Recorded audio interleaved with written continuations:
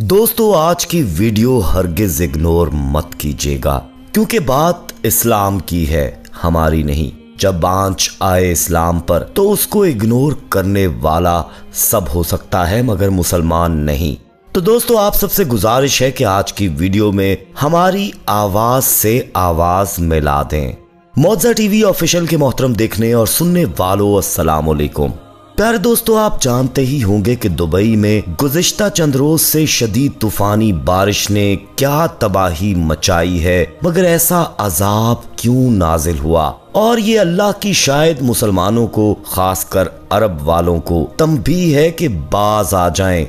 अभी भी वक्त है। प्यारे दोस्तों बड़े बड़े मंदिर शराब खाने जगह जगह याशी के अड्डे बनाकर फलस्तीनियों का साथ ना दिया तो बिलाखिर दुबई पर अल्लाह का कहर नाजिल हो गया। बादल फट पड़े, हवाएँ और बारिशें आपे से बाहर और हर तरफ़ तबाही से क्यामत बर्पा हो गई। मुतद लोग मारे गए मुतद जख्मी हुए। जबकि कुछ लोगों का ये भी कहना है कि दुबई ने जियो इंजीनियरिंग से कुदरत के निज़ाम से पंगा लिया है। जिसका भयानक नतीजा दुबई को भुगतना पड़ रहा है। यही वजह है दोस्तों कि टेक्नोलॉजी समेत हर चीज़ में नंबर वन और दुनिया की बेहतरीन मीशत रखने वाला दुबई भी कुदरत के सामने कुछ नहीं कर सका। अबू जहबी में पीएम मोदी के हाथों एक मंदिर का संगे बुनियाद रखा गया, जिस पर अरबों रुपए का खर्चा किया गया। दोस्तों, भारतीय वज़ीर आज़म नरेंद्र मोदी के हाथों मुतहदा अरब इमारात की रियासत अबू जहबी के पहले और अरब खत्ते के सबसे बड़े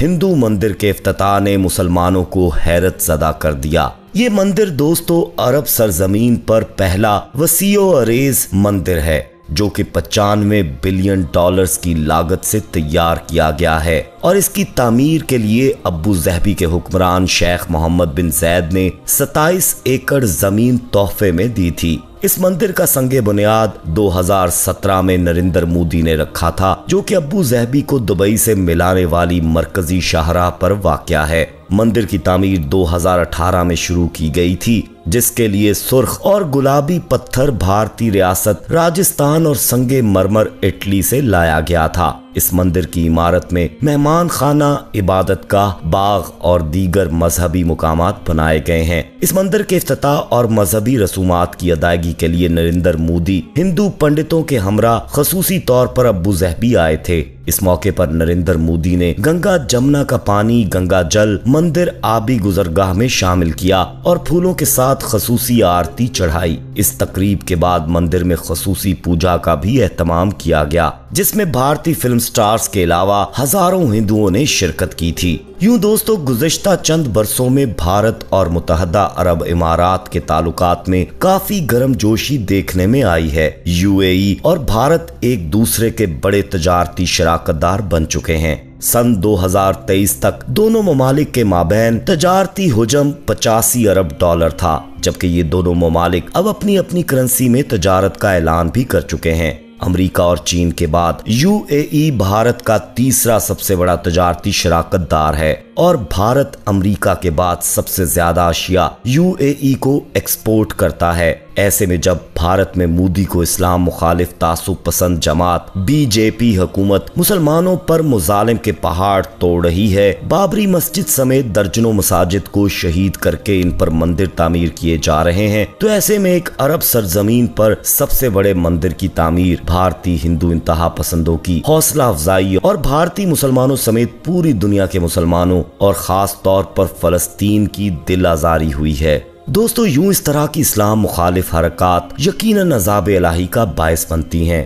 मुतहद अरब अमारात की एक तरफ़ इंडिया से दोस्ती तो दूसरी तरफ़ इसराइल से भी याराना इनके नज़दीक अगर कदरों कीमत है तो वो सिर्फ़ पैसे और तरक्की की है। प्यारे दोस्तों, आप ये यकीन नहीं करेंगे कि मुतहदा अरब अमारात दुनिया का वो वाहिद मुस्लिम मुल्क है, जिसकी सरजमीन से बाकायदा इसराइल को 7 अक्टूबर 2023 से लेकर अब तक हज़ारों टन असला और तेल भेजा जा चुका है। वो भी मासूम नहत्ते फलस्तीनियों की शहादत के लिए सोचें कि अगर मुसलमान ममालिक अपना तेल बंद कर देते और इसराइल तक ना पहुँचने देते तो इसराइल ये जंग तीन चार दिन से ज़्यादा नहीं लड़ सकता था। लेकिन ऐसा ना तो हुआ और ना ही मुस्तकबिल में होता हुआ नज़र आ रहा है। दोस्तों, तमाम मुस्लिम ममालिक बेहिस्सी और खुद गर्जी की तमाम हदें पार करते हुए इसराइल को अपनी खामोशी और अपने इस्लाम मुखालिफ इकदाम से भी पूरी तरह सपोर्ट कर रहे हैं। दुख की बात यह है कि इस मामले पर पूरी उम्मत मुसलमा को एक होना चाहिए था।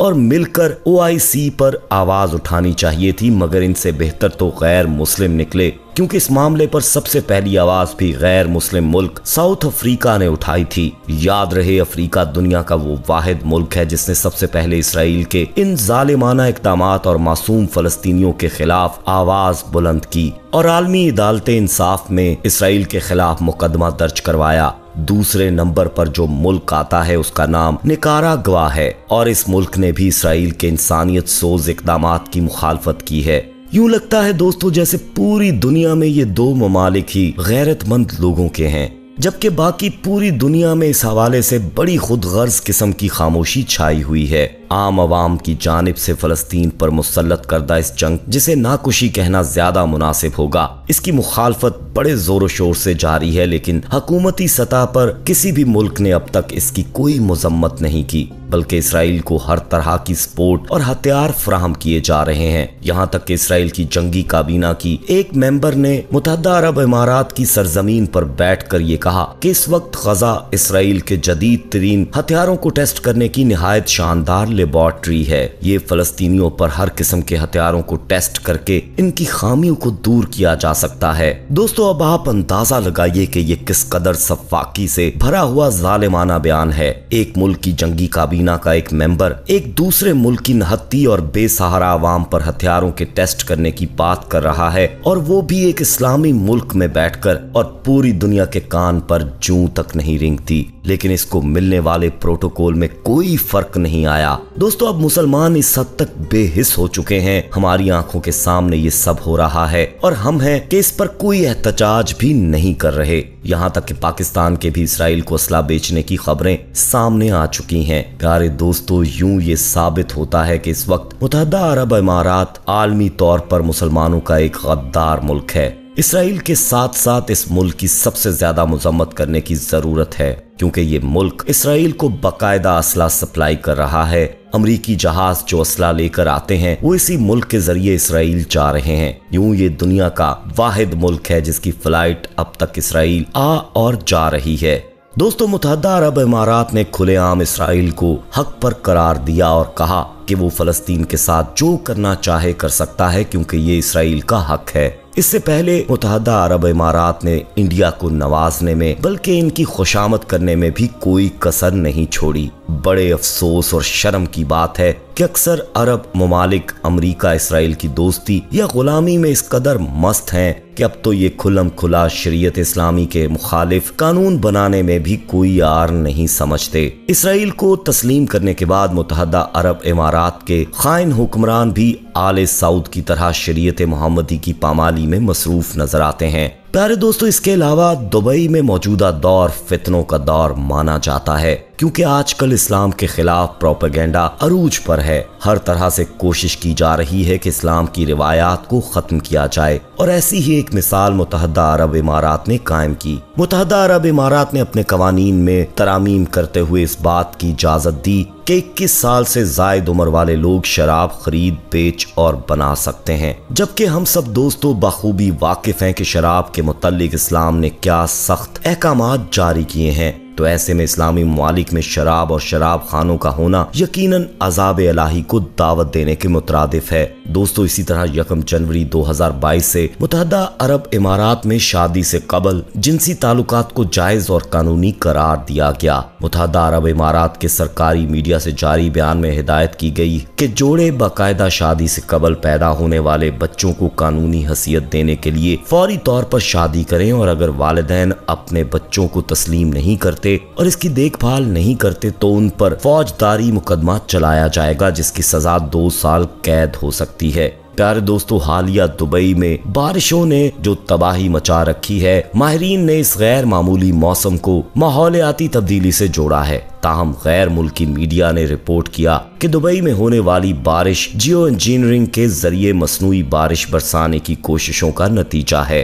रिपोर्ट में मजीद इंकशाफ किया गया कि मुतहदा अरब इमारात की हुकूमत ने बारिशों के हवाले से साइंस का इस्तेमाल किया है। गोया दुबई में तूफानी सैलाब और मसनू बारिशें कुदरत से छेड़छाड़ का नतीजा है। प्यारे दोस्तों कभी कभार ये बारिशें अजाब इलाही बनकर भी आती हैं। कुरान करीम में बारिश के बारे में बहुत ज़िक्र आया है और बारिश को अल्लाह की रहमत और अजाब की निशानियों में से एक बताया गया है। लोगों को दावत दी गई है कि इसके इसबाब पर गौर करें। बारिश अल्लाह की अजीम नेमत है। अल्लाह पाक फरमाता है कि हमने आसमान से बरकत वाला पानी उतारा और फिर हमने इसके ज़रिए बाग उगाए और अनाज जिनके खेत काटे जाते हैं लेकिन दोस्तों, ये बारिश तूफ़ान की शक्ल में अजियत का सबब भी हो सकती है, जो कि पूरी पूरी तहजीबों को बहा कर ले जाती है। बिल्कुल ऐसे ही जैसे आज दुबई में हो रहा है। उल्मा बयान करते हैं कि अल्लाह ताला से रिश्ता मज़बूत हो तो रहमतों का नजूल होता है और अल्लाह ताला की नाराज़गी कुदरती आफात का सबब बनती है।